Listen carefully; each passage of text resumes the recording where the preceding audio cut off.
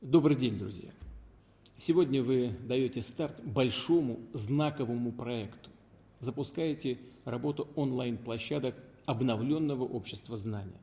Многие десятилетия оно было настоящим флагманом массового просвещения и сыграло важную, во многом уникальную роль в жизни нескольких поколений граждан нашей страны.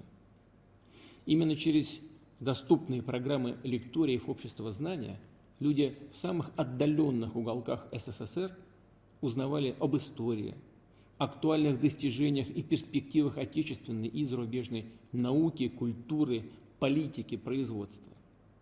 Напомню, что общество знания было учреждено сразу же после Великой Отечественной войны в 1947 году. Страна возвращалась тогда к нормальной жизни, восстанавливала разрушенное хозяйство. И везде нужны были молодые, целеустремленные, образованные люди. Общество знания взяло на себя непростую, огромную просветительскую миссию. Оно давало молодежи, подросткам ориентиры в выборе жизненного пути. Сделало знание, стремление к нему признанной ценностью общества. И, по сути, воспитало тысячи блестящих ученых, исследователей, инженеров, рабочих, которые обеспечили технологическое и научное лидерство нашей страны, в том числе в таких сферах, как мирный атом и космос. Сегодня перед нами стоят задачи сопоставимого масштаба. Их определили новый технологический уклад и цифровая революция, появление онлайн-реальности и искусственного интеллекта, а еще быстрота изменений в окружающем нас мире. Новые скорости освоения знаний, которые прямо определяют успех и конкурентоспособность и каждого человека, и страны в целом. Знания должны вновь стать одной из важнейших ценностей общества, притягательной и доступной. И это ключевая цель обновленного общества знания. Оно ориентировано на все возрасты и самые разные интересы.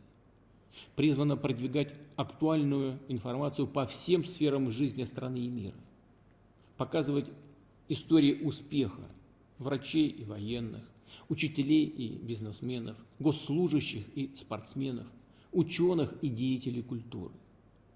И здесь подчеркну, что при всех колоссальных ресурсах современных технологий ничто не заменит живого общения. А наставничество всегда было и остается самым эффективным инструментом передачи знаний и навыков.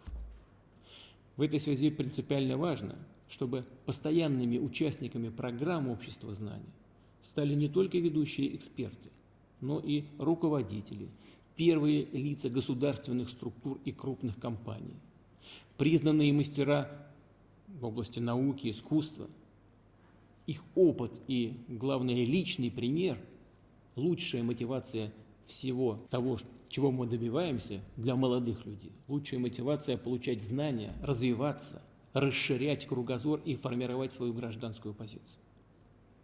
Реализовать себя, свои идеи, планы. Для активного, талантливого человека Россия – страна уникальных возможностей. А вы, каждый из вас, безусловно, талантлив. Главное – определить свой дар, свои сильные стороны и начать действовать, идти только вперед. Уверен, общество знания поможет вам найти себя, встать на свой путь к успеху в учебе, в работе, в жизни, во всех добрых делах. Удачи вам, ребята!